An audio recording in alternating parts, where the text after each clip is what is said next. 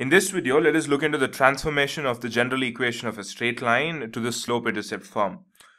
Uh, before we start the transformation of general equation of straight line to the slope-intercept form, let us first uh, take a look at what exactly is the general equation of the straight line.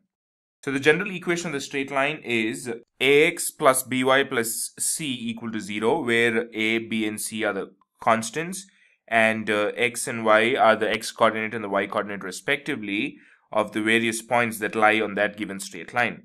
So, if this is the general equation of the straight line, now we need to convert this general equation or transform this general equation of the various forms of, you know, straight line. There is slope-intercept form, there is two-point form, there is point-slope form, and so on. So in this video, we will convert, we will see how to convert uh, this uh, ax plus by plus c equal to 0 to the slope-intercept form.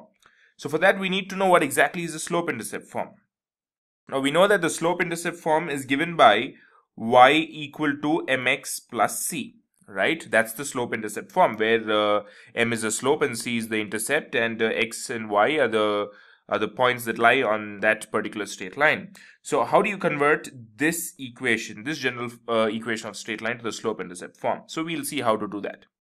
Well, it's not really complicated at all. You just have to see this. You can see that uh, basically y is on the left side and the rest are on the right side. So do the same thing for this. Uh, select the y term, by is the y term, keep that on the left side and push the rest to the right hand side. So you get by equals minus ax minus c. Alright. So this is the first step. But then we don't need by, right? I mean, we just need y for the slope-intercept form. So keep the y and uh, shift the b to the right hand side or divide the entire equation by b where you get uh, y equals uh, minus a by bx minus c by b.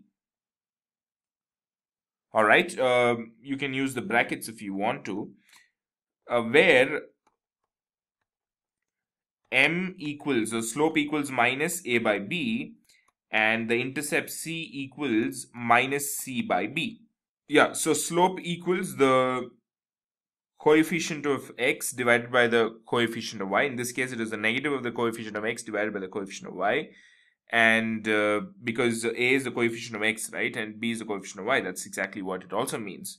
But basically, yeah, slope equals minus a by b, where a is the coefficient of x and b is the coefficient of y. And then the intercept c equals minus c, c by b, where c is the constant and b is the coefficient of y. So this is how uh, you convert uh, the or you transform the general equation of a straight line to the slope intercept form.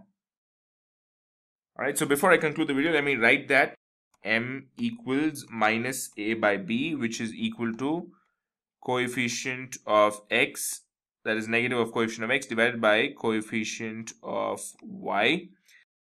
The intercept c equals minus c by b, which is equal to minus of the constant divided by the coefficient of y. Alright, so that uh, ends uh, this quick little video on uh, how to transform the general equation of a straight line to the slope-intercept form. So, I'll see you in the forthcoming videos um, with the transformation of general equation of straight line to the intercept form.